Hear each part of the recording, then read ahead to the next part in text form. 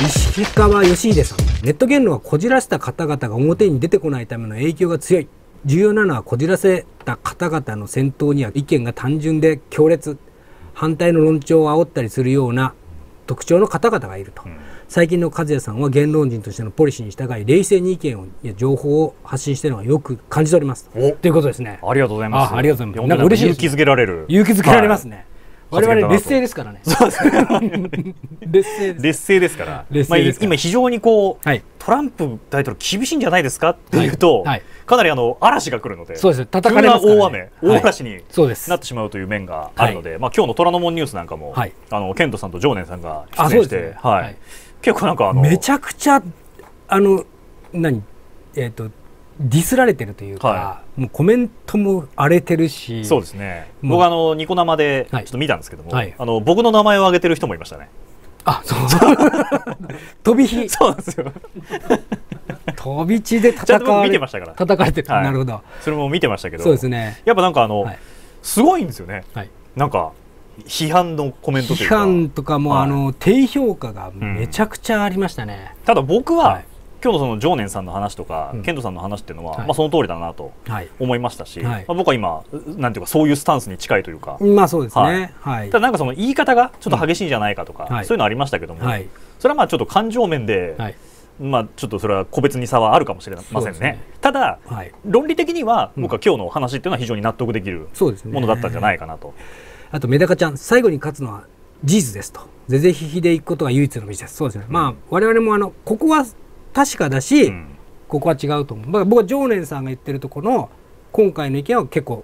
あの正しいと思うし、うん、別の件は常念さんと違うっていうのは全然ひひですからね。その、はい、政治評論とか、うん、政治の見方って僕は宗教じゃないと思ってるので、はいはいはいはい、だからその信じてますじゃなくて、はい、じゃあその信じるに足る、うん、まあ、何か情報だったりとか、論拠がいるんじゃないかなっていうスタンスなんですよ。うん、で、ね、今その論拠だと、証拠だとされてるものに関しては、ちょっとそれ信憑性大丈夫ですかというものしかないからこそ確かにね、まあ、今裁判とかでも却下されてると。はい、ドミニオン、はい、これがまあ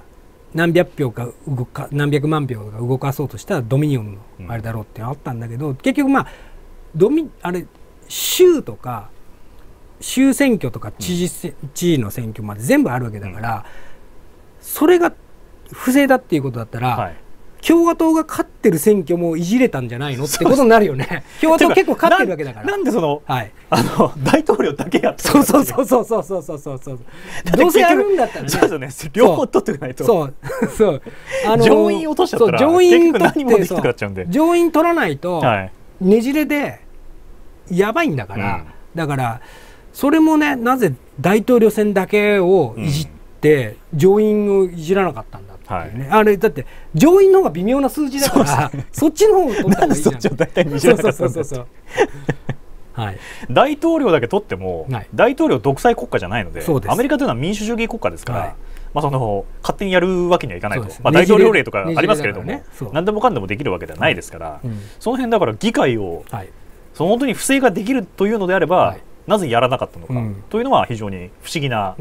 観点でありますよね。まあ、ねはい。えー、桑原和樹さん。そもそも自分のコントロールできないことに執着する意味がない気がしますと。あこれあの大統領選っていうのは、まあ、我々応援しても意味がないっていうことを指してるんじゃないかなと思うんですよね、なるほど、はい、ただあれなんですよね、うん、あのこれ僕が思うにですけど、うん、一部の人にとってはこれは聖戦なんですよ。あなるほどもう聖なる戦い。はいはいはい、だからこそもう引けない状態になるほど、ね、なってしまってるんじゃないかなと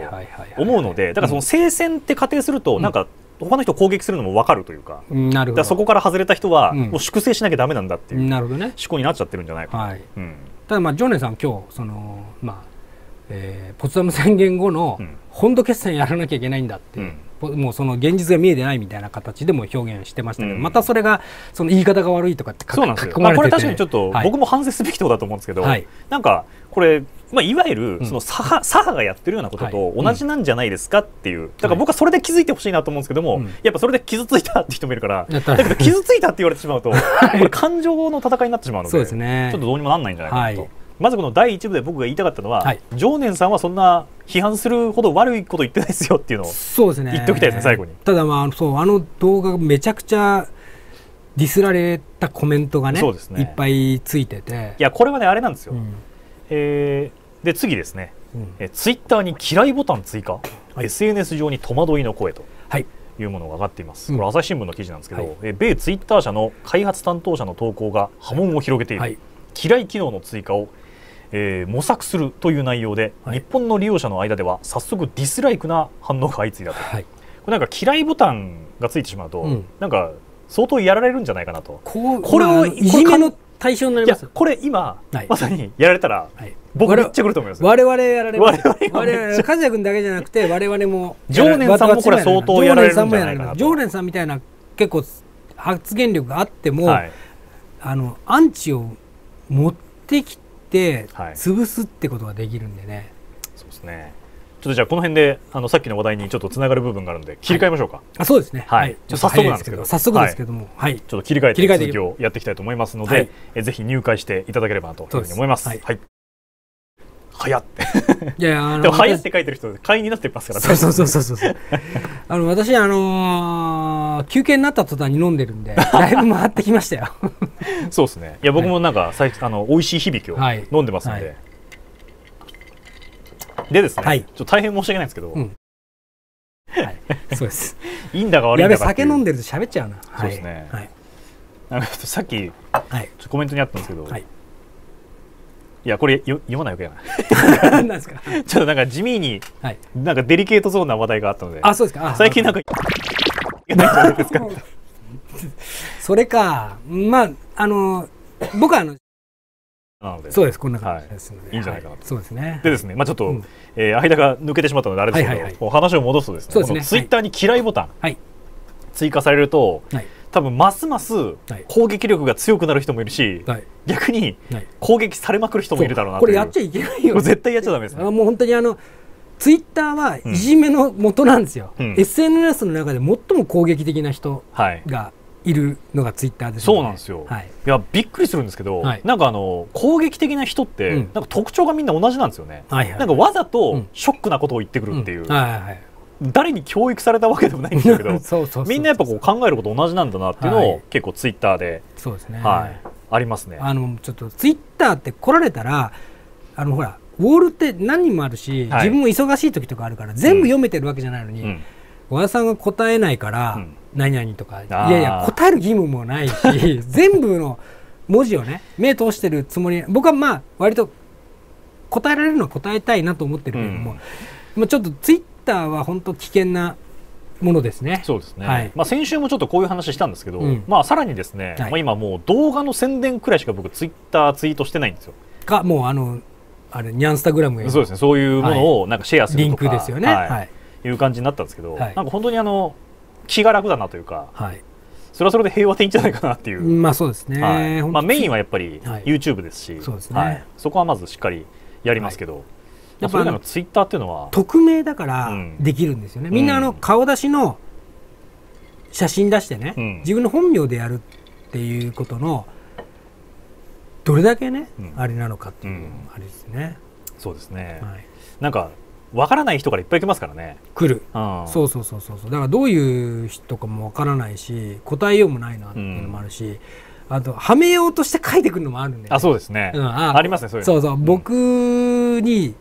こう滑ったことを書かせようとして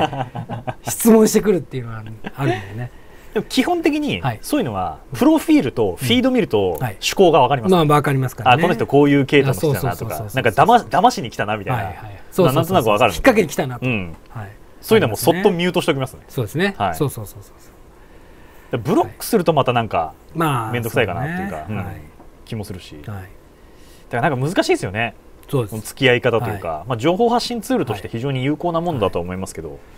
なんか疲れるなって同姓止めの和田さんと間違えてそう。同姓止めの和田さんちょっと困ってるんですよ僕。しかも保守系のところにことごとく絡んでいってるんで ちょっとあの僕のところにも来るんですよメッセージで、はい、和田さんと思ってたら違う人で、違う和田健二さんでしたっていう、同姓止めいるんでもう本当ちょっと若干困ってはいるいやもうだから玄徳にするしかないですよ。もう玄徳にする 玄徳にしたら俺しかいないだろ う。なんで本名の俺が顔出ししてる本名の俺が 変えなきゃいけないんだっていう。また玄徳。はい、あれもって。はい